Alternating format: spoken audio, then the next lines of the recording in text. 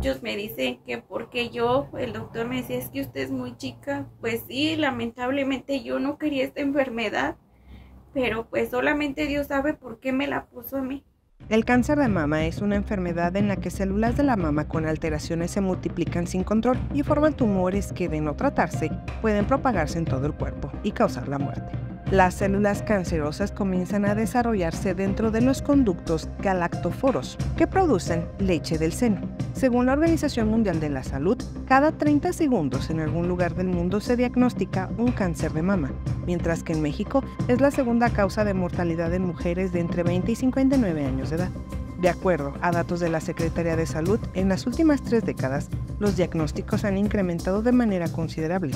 Para finales del 2023, se habían diagnosticado 23.873 nuevos casos aproximadamente en Guanajuato. Para apoyar médicamente, existe una red de 17 mastógrafos digitales distribuidos estratégicamente en cada una de las jurisdicciones sanitarias. Durante el ejercicio 2023 en el estado se realizaron un total de 114.227 exploraciones clínicas de mama en mujeres de entre 25 y 39 años de edad y 61.774 estudios de mastografía de tamizaje en mujeres de 40 a 69 años. En la jurisdicción sanitaria número 5, los municipios que la comprende, se tiene un promedio de 8.500 a 10.000 mastografías en lo que va del año.